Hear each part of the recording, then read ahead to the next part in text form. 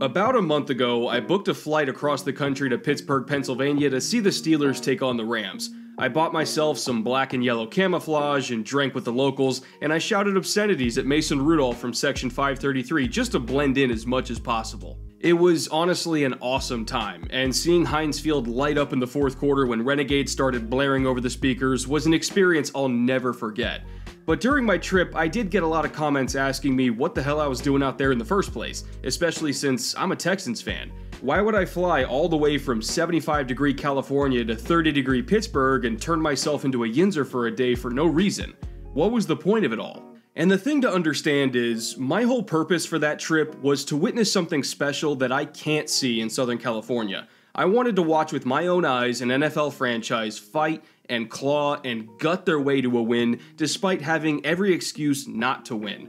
I wanted to see how they did it and how they seemingly keep doing it no matter the odds every single week. And truth be told, when you do see this Steelers team up close and personal, the energy is different, and you kind of start to understand why, out of all the good teams in the AFC this season, this is the one that just absolutely refuses to die.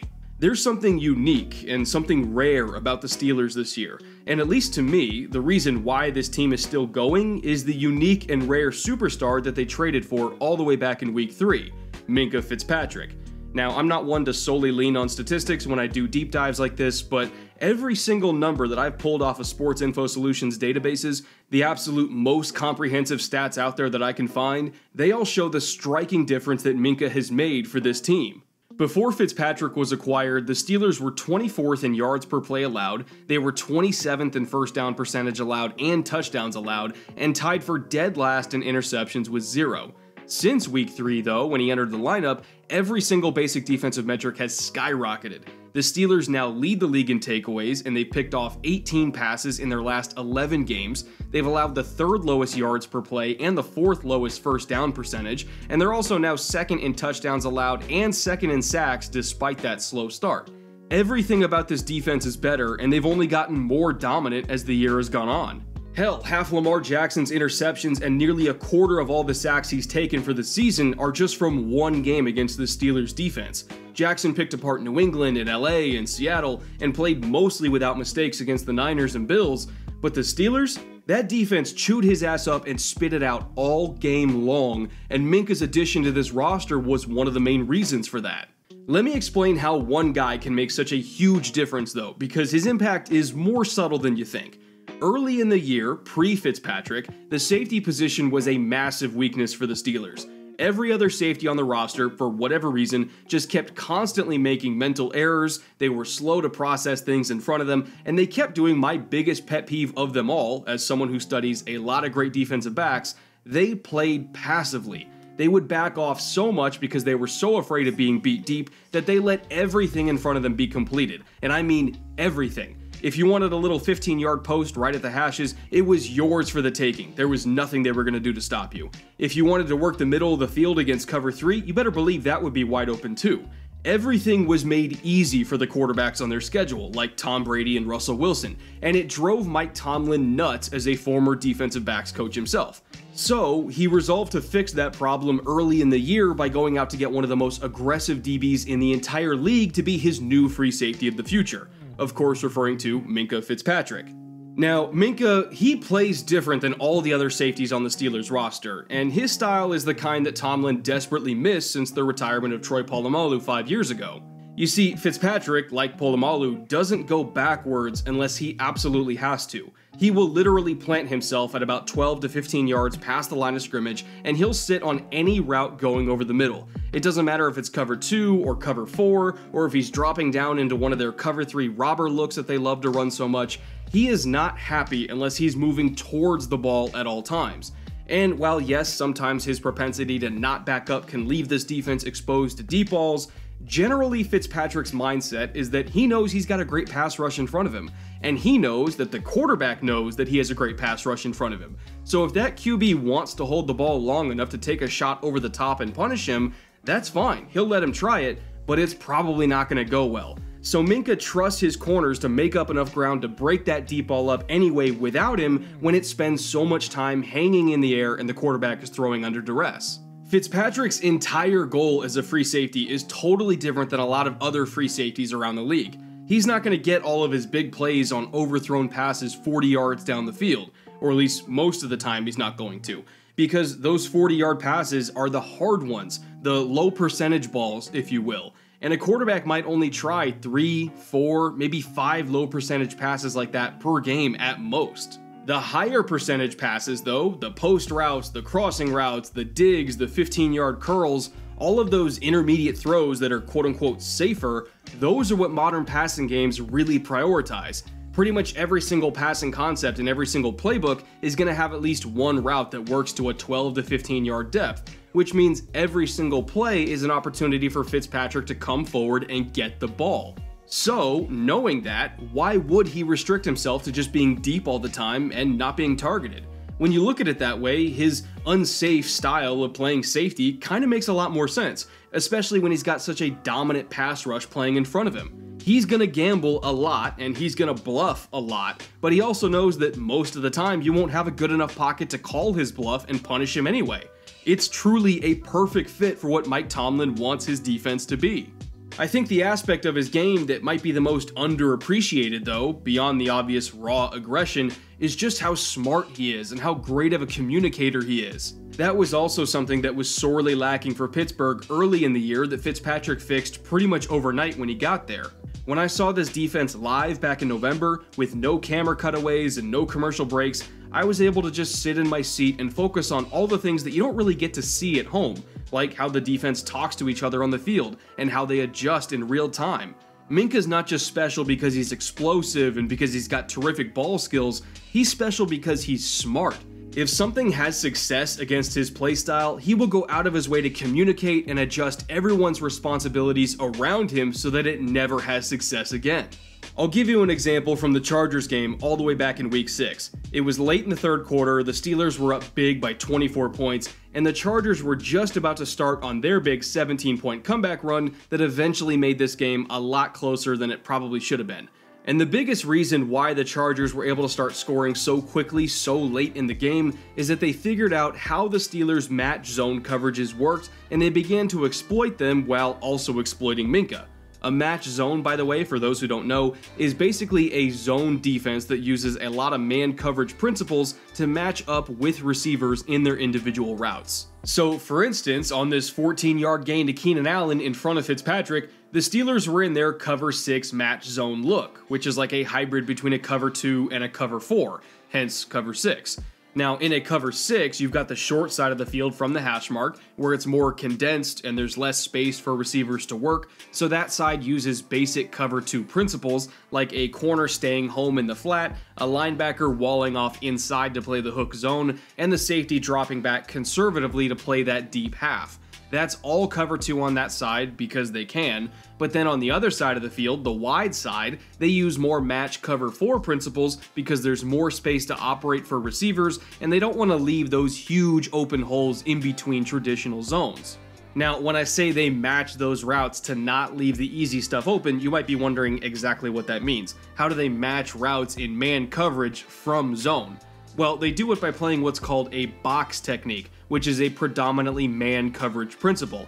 And in a box technique, you can kind of just picture each defender on that side of the field taking one quadrant of a box. You've got the nickel corner playing the first route that comes to his quadrant, the low and outside release. You've got the inside linebacker playing the first low and inside release. You've got the boundary corner playing the first high and outside release. And finally, Minkah Fitzpatrick himself as the free safety playing the first high and inside release. Everyone's got their own area of the box to cover, and they basically treat it like man principles to the first receiver that comes into their area. So that's how they match every single route and follow them around like it's man coverage, but from a zone alignment.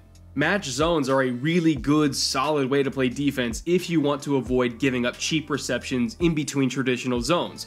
But they're not without their own weaknesses, and eventually the Chargers found those weaknesses in match zone, as long as you know the techniques that the secondary will play to match those routes, meaning triangle technique, box technique, etc., all the different ways they can actually match up, you can go into a play knowing ahead of time which DB is going to end up covering which route, or which DB will be drawn away from a certain area of the field by a certain other route. Match zones are predictable in that way, and they often take a defender's eyes off the ball because they're so focused on just picking up whatever receiver comes into their area. So, on this big gain to Keenan Allen, they used Pittsburgh's match zones against them by making them predictable. They knew that as the high and inside defender in that box, Minkah would be locked in on Mike Williams first coming into his area, and they knew that if Minkah locked in on Williams and turned to run with him, even just a little bit, it would distract him long enough to sneak Allen in as the second man into that high and inside area on that dagger concept, and they could exploit that for an easy first down. Obviously, they did it, and obviously it worked. And even Fitzpatrick, after the play, was tapping on his chest and saying, My bad to all of his teammates because he knew that the Chargers got him on that one. But because Minkah is Minkah, he's smart enough to know that the Chargers would eventually come back to that same dagger concept again when they needed to, and when they inevitably did it, he would make sure that he was ready. So, the next quarter, after going over that coverage bust on the bench with his teammates and making adjustments, you started to see the Steelers play their match cover 6 a bit differently. Now, instead of a straight box technique with four defined areas of the field for four individual defenders, they played sort of a hybrid box technique, kind of, with the nickel corner, Mike Hilton, now having to carry his low outside read to the high and inside read and beyond it. He was no longer just going to sit back in the flat and let Minkah be responsible for two guys at once because Fitzpatrick had him carry that receiver for him down the field so that he would not have to bother turning and running with it, and instead he could go back to focusing on being aggressive and jumping that route to the second man in his area, the dig route, that was once again coming right at him. It was a brilliant adjustment by Minkah. It allowed him to still play his aggressive style without having to compromise himself by covering multiple receivers at once. And despite the fact that this interception was dropped, it was one of the best examples that I've seen all year by any team on how to adjust in the middle of a game to something that beat you. And they do this all the time. The Steelers' defense, and especially Fitzpatrick, are always learning and studying and growing every single week I mean, hell, there are some routes that Minkah jumps out of nowhere that don't even make sense at first because it looks like he's just guessing. But with a guy like him, when he looks like he's guessing, mostly it's just him already knowing what's happening on offense before the ball's even snapped. There was one pass breakup that I saw live in Pittsburgh against Cooper Kupp where even today I still can't believe he made that play because it was just so damn good. The Steelers are in cover four here down in the red zone, or at least their match zone version of cover four, where it's basically quarters on the back end with man underneath. And Minkah's responsibility as a quarter zone defender inside is to help out Joe Haden by giving him an inside bracket on whichever receiver releases deeper down the field. So, for instance, if Josh Reynolds widens Haden out by stemming outside and then breaks back inside away from Haden's leverage on like a post or something, ideally Minkah will be sitting right there to help him out and jump that throw. Those are just quarters coverage principles in a nutshell. And you can see Terrell Edmunds and Steven Nelson playing quarters exactly that way over on the other side of the field. But Minkah's not going to play quarters here. He's going to leave his assignment right out the gate, not give Haden that inside bracket, and he's going to come all the way from deep to jump a shallow cross to Kupp on a mesh concept.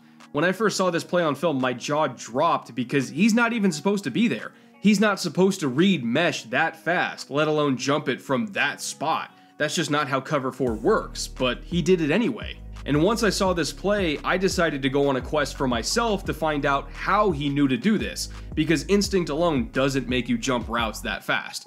I went through every single Rams offensive snap for the entire season leading up to this game because I wanted to see what Minkah saw. I wanted to know why he jumped that route that quick. And after all that tape study, I eventually found this play. This is also from week 6, a full month before that Rams Steelers game, and this play is the only time all season the Rams have run that same mesh rail concept to Cooper Kupp from this formation on any down, any distance, from anywhere on the field. I'm talking one time all year, and this is it. It's the same exact play with the same rub on the shallow crosses over the middle, and were it not for Fred Warner being an absurdly talented football player in his own right, there's a good chance it would have been a touchdown. Minkah saw this going into their game against the Rams, and he knew that if it were a man coverage situation, or even a match zone coverage situation where the rub routes could do some damage against man coverage principles, he would be useless sitting back deep and watching that play unfold. He decided right then and there that if he saw Kupp line up in a stack, leveraged outside in the red zone, he would have to jump that route. He made a choice not to wait around. He chose not to just let the plays come to him, and instead he was going to go to them, and it worked. He broke up this pass on third down, forced a field goal attempt instead of a potential touchdown, and he helped his offense keep a lead that they desperately needed from start to finish. This play in a huge game that they had to win is Minkah personified. No second guessing, no being passive, and no fear of being the aggressor. After studying everything that Fitzpatrick did to win that game and help the Steelers claw their way back into the playoff hunt, this is the first time ever that I felt like Mike Tomlin has found the true heir to Troy Polamalu. It's the first time that he's found a new, unbelievably smart, incredibly athletic, and borderline reckless one man turnover machine. In my opinion, from the day that Fitzpatrick stepped foot off the plane from Miami, he's been the most valuable player on the entire team. Don't get me wrong, TJ Watt is phenomenal, and Duck Hodges has started to reignite a dormant offense that desperately needed a spark. But if you ask me what has really been the source of the Steelers' turnaround this year, it's Minkah Fitzpatrick. When the game is close, when there's barely any time on the clock, and when the towels are waving and Renegade is booming, there's only one guy that the city of Pittsburgh can always turn to. One guy that every Steelers fan can count on to make a play. He is that rare special talent that, against all the odds, has saved a season from the brink of collapse. If the Steelers keep trending the way that they are, and if they make the playoffs after beginning the year 0 3, it might be time to start talking about the trade for Minkah Fitzpatrick as not just one of the best trades of the year, but maybe one of the best trades ever.